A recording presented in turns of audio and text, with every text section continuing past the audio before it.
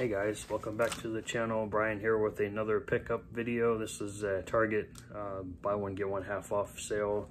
Uh, I got eight titles here in this box. Um, I'll show them off right now. Um, kind of a mixed bag here. Some classics, some new horror films, and then some just random movies that I had forgotten that I wanted to check out. So first one here is a film put out by Sony Pictures from 20, uh, 2015, 2016. There's two, two dates on here. Uh, this is uh, The Diary of a Teenage Girl. Uh, stars Alexander Skarsgård, Kristen Wiig, Bel Powley, and Christopher Meloni. Um, I hate when they put the stupid fresh tomato Rotten Tomatoes thing on here. I don't really care about it, and if you guys do or not, I don't. Uh, it gets good ratings. I looked it up on IMDb. Uh, takes place in 1976 San Francisco. Uh, Minnie Goetz, uh, played by Bel Powley, is growing up at the crossroads of the fading hippie movement and the dawn of punk rock. Uh, like most teenage girls, Minnie is longing for love, acceptance, and a sense of purpose in the world. Minnie begins a complex love affair with her mother's boyfriend, the handsomest man in the world. Uh, so her mother is played by Kristen Wiig, and then her boyfriend is played by um, Alexander Skarsgård. What follows is a sharp, funny, provocative account of one of the girls' sexual and artistic awakening without judgment. Uh, rated R for sexual content, drug use, language, drinking, all involving teenagers. So, um, yeah, let me know if you guys have seen The Diary of a Teenage Girl. I thought it was interesting. Uh, next one here is another film I've I don't remember. Uh, it's put out by Anchor Bay. Uh, stars Jeremy Sumpter, Tyler Blackburn, and um, Via Fane. Or I, I can't. I'm not. I'm not. I'm not pronouncing that right. Uh, it's a film called Hiding. This is from 2012. Uh, says some secrets can't stay concealed. After witnessing a shocking crime that leaves both her parents dead, New York City teenager Jo, played by um, yeah, Anna, we'll say Anna. I don't want to butcher her last name again. Uh, is put into the witness protection program and sent to live in rural Montana. Well, that sounds like hell to me. Uh, she isn't allowed to have any contact with her family or former friends. Worst of all, she's become the new girl in a small, cliquish high school. Can Jo now survive being caught between a charismatic athlete, a sensitive art student, a jealous group of girls trying to uncover her past, and a cold-blooded hitman who may be tracking her location? So, definitely interesting. I definitely wanted to check this out. This is PG-13, uh, violence and language. Uh, like I said, put out by Anchor Bay.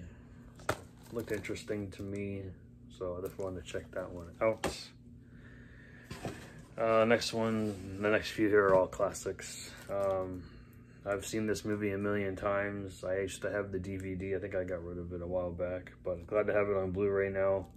This is put out by Paramount, and that is the remake of The Longest Yard with Adam Sandler, Chris Rock, uh, obviously Burt Reynolds, Nelly, James Cromwell. Uh, so many, so many good um, cameos in here as well. Uh, from 2005, 113 minutes, PG-13. Just a great football comedy, uh, prison comedy guys haven't seen that, I, I suggest it. The, the original was pretty good too. I need to get that one still. Uh, this one I know just got a 4K release. Um, I actually don't own this in my collection. I have 2, 3, and 4. I don't have 5 either.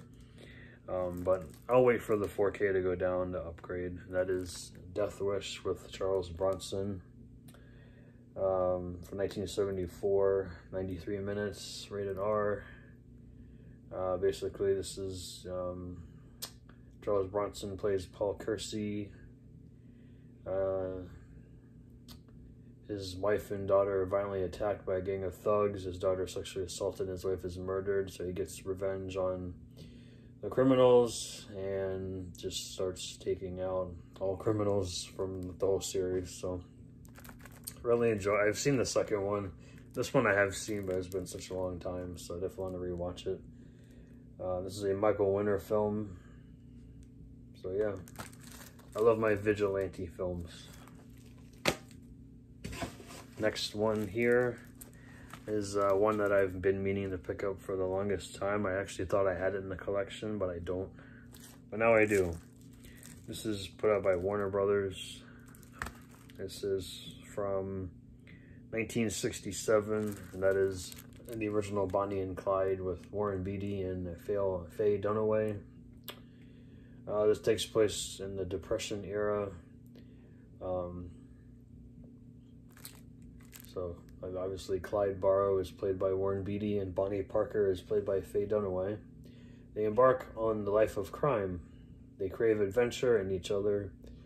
When uh, we are unprepared for the cascading violence that follows, we learn they can be hurt and dread they can be killed. So there's come a bunch of criminals on the run. And uh, yeah, definitely, definitely recommend owning that in your collection. Now the next one here, I'm kind of mad because I bought this pretty cheap and then Criterion announces it on 4K. Of course they did. That's all right. I'll I'll watch this and then I'll probably upgrade later down the line. Uh, we got Thelma and Louise here. This is the 20th 20th anniversary edition on Blu-ray. This is a Ridley Scott film starring Susan Sarandon, Geena Davis, and Harvey Keitel from 1991. Uh, what's the rating on this? I don't see one. Assuming it was be rated R. Doesn't say. This is put out by MGM and Warner Brothers. Uh, Susan Sarandon and Geena Davis star as an accidental outlaws on a desperate flight across the Southwest after a tragic incident at a roadside bar.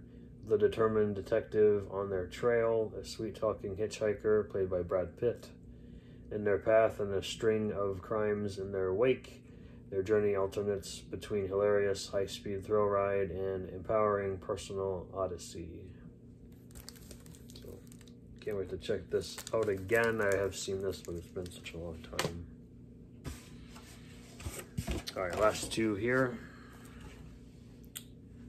Uh, these are both new horror films that have come out in the last mm, couple of months. Uh, first up, we have from Lionsgate uh, from 2022. That is The Inhabitant. Uh, I like anything dealing with um, Lizzie Borden, so I definitely wanted to pick this up and give it a watch. Everyone knows the story of Lizzie Borden, so I won't bore you with it. But uh, uh, Tara uh, lives in a shadow of a harrowing family curse. She's a descendant of axe murderess Lizzie Borden. Uh, as Tara begins to hear voices and have paranoid visions of butchering her family, people in her small town are attacked and killed. All evidence points to her. Uh, she must confront the demons that possess her, both real and imaginary. And a shocking truth in this chilling psychological horror ride. So, can't wait to check that out. This is not rated 97 minutes. The last one here I've been wanting to check out too. I've I've read mixed reviews on this one.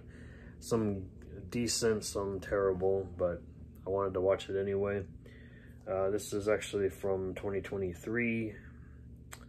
Uh, 88 minutes put out by ROJE Films, and that is The Friendship Game, starring Peyton List,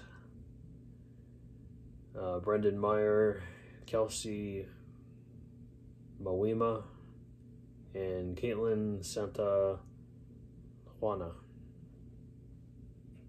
Uh, there, so these this group of kids are enjoying their last summer together before college. They discover the friendship game. The mysterious object comes with simple instructions. Each player admits their deepest desire. The game will test their loyalties, and but if they win, their friendships will last forever. When Cotton goes missing, after playing the game, the remaining friends slip into a dangerous spiral of increasingly destructive consequences. So, definitely wanted to give this a watch for sure. So those are my uh, let's say eight eight pickups from Target's buy one get one 50% off sale. Yeah, I went a little crazy with it this time. Amazon too, but anyway, here's my little stack here. Let me know in the comments if you've seen any of these and what you thought of them. And I'll catch you guys probably later in the week. I got some eBay stuff to show off. Not a lot. Some Mercari stuff. But I've been kind of cutting back on on buying movies lately. Just waiting for sales, really. So, um, but yeah, hope, hope you guys are doing well, and I will catch you guys later. Take care. Bye.